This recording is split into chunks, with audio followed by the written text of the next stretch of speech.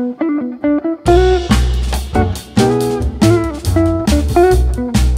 apa kabar semuanya, balik lagi dengan Putu dan langsung aja di kesempatan kali ini saya kedatangan satu produk yang belum lama ini rilis di Indonesia yaitu sebuah laptop dari MSI ya ini dia masih dikotakin yaitu MSI Summit. Ini adalah sebuah laptop convertible yang kalau saya cek sekarang itu harganya di kisaran 24.999.000 rupiah kelihatan mahal ya. Tapi apa aja sih yang dikasih sama laptop ini? Ya, jadi ini dia kotaknya. Ada logo naganya MSI seperti biasa. Terus di sini ada tulisannya MSI.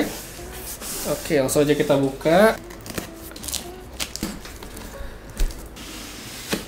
Oke, ini dia uh, kotak laptopnya.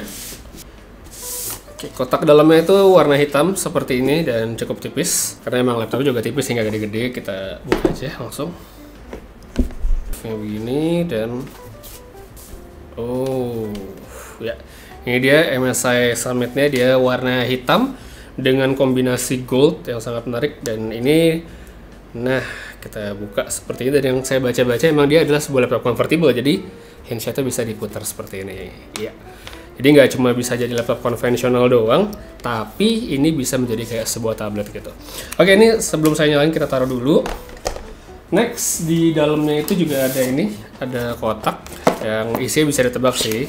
Ini ada kabel power chargernya. Ini chargernya kecil dan dia pakai interface USB-C. Serta di sini ada juga kayaknya ada pen ya, yaitu MSI pen ya. Jadi ada stylus ya karena ya tadi kan dia convertible, bisa dilipat dan dia mendukung pen atau stylus juga. Satu lagi di dalam ini juga ada satu plastik ini sih kayak user manual ya, nggak perlu saya buka. Dan di sini kita dapat sleeve ya, dapat uh, tempat buat laptopnya di bawah-bawah. Jadi untuk sebuah paket ya ini adalah uh, laptopnya bisa dibilang lengkap ya. Jadi ada laptopnya, uh, ada chargernya USB-C, ada pen dan dapat sleeve juga. Oke, sekarang sedikit balik ke soal stylus nih baru aja saya buka. Dengan ada benda seperti ini bisa ditebak kalau laptop ini sudah mendukung touchscreen ya. Jadi kita bisa pakai jari atau bisa pakai pen untuk coret-coret. Ini adalah hal yang menurut saya sangat nyaman. Hal ini juga sebenarnya mendukung banget karena laptopnya itu memang bisa ditransformasi menjadi sebuah tablet berkat hinge yang sangat fleksibel tadi ya, jadi bisa kita begini. Dipegang pun ini menurut saya masih terasa cukup ringkas karena secara bobot ini juga nggak berat. Jadi MSI Summit ini cuma 1,3 kg aja kalau kita pegang tangan. Terus kalau misalnya ditambah sama charger yang tadi itu jadinya paling cuma sekitar satu setengah doang. Jadi menurut saya enteng banget untuk masuk ke dalam tas. Untuk first impression soal desain, laptop ini kalau menurut saya sih kelihatan keren ya. Apalagi dengan kombinasi warnanya hitam terus ada goldnya. Kelihatan mewah di satu sisi tapi di tempat lain saya juga Penasaran nih apakah dia bakal gampang kotor karena bekas tangan dalam pemakaian sehari-hari? Saya belum tahu ya karena yang namanya juga baru coba. Untuk sebuah laptop yang ringkas, portnya di sini saya lihat lengkap ya. Jadi enak banget. Di sisi kanan dia ada jack audio, ada full size HDMI, ada slider untuk aktif dan non-aktifin webcam, serta ada sebuah slot micro SD yang awalnya saya sempat kira ini buat SIM card ya asli. Tadi saya kira nih laptop bisa pakai SIM card gitu buat internetan. Habis itu di bagian sebelah kiri, di sini ada full size USB A dan juga dua port USB-C Thunderbolt. Jadi ini nggak cuma bisa buat ngecas, tapi bisa juga untuk transfer data dalam kecepatan tinggi kalau device seperti SSD-nya itu kompatibel. Untuk specsnya, MSI Summit kelihatan menjanjikan nih.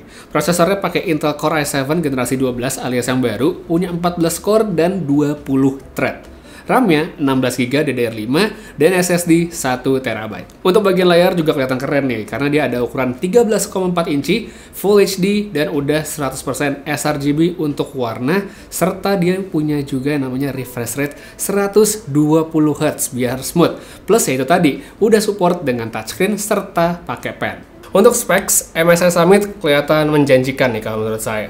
Prosesornya dia pakai Intel Core i7 generasi 12 alias yang baru, punya 14 core dan 20 thread. RAM-nya 16GB LPDDR4X yang sepertinya sih ini upgradable ya sampai 32GB kalau saya baca di websitenya plus dia punya SSD 1TB. Untuk bagian layar ini juga kelihatan keren ya kalau menurut saya karena satu dia punya ukuran 13,4 inci cukup besar untuk sebuah laptop yang ringkas seperti ini.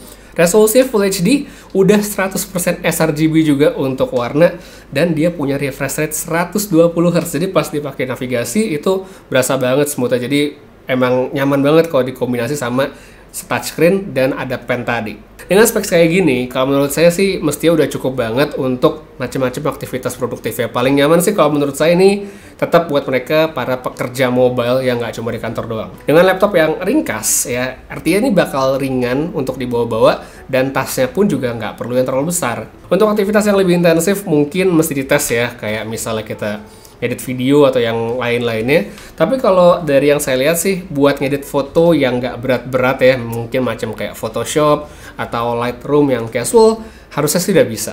Apalagi di sini kan layarnya udah 100% sRGB, jadi harusnya sih udah lebih dari cukup. So, jadi kalau dari kesan singkat nih ngejajal laptop barunya MSI, ini mungkin kalau menurut saya bisa dipertimbangkan buat mereka yang lagi mencari sebuah laptop Windows yang ringan dan bisa convertible touchscreen dan support pen ya komplit banget sebenarnya untuk sebuah laptop seperti ini. Terus yang menarik juga layarnya bagus plus dia punya prosesor yang nyaman untuk digunakan apalagi ini generasi terbaru.